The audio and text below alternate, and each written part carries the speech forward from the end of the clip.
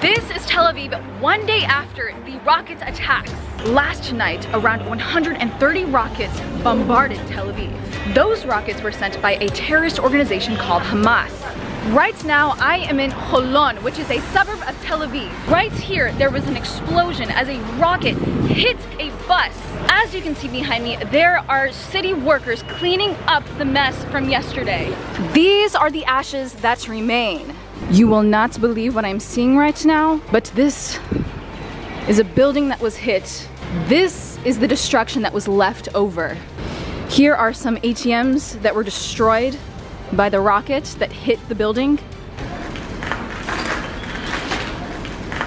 This here is Daniel and he is a resident of Holon. So can you tell me, how do Israelis feel when Israel is attacked by these rockets?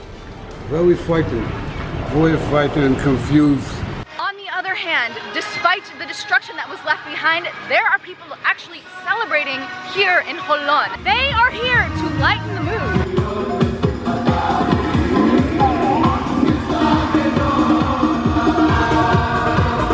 Right here you can see how quickly everyone is trying to rebuild the destruction from yesterday. We are not sure what will happen in the next few hours. Okay, so right now there are sirens going off. Oh my gosh.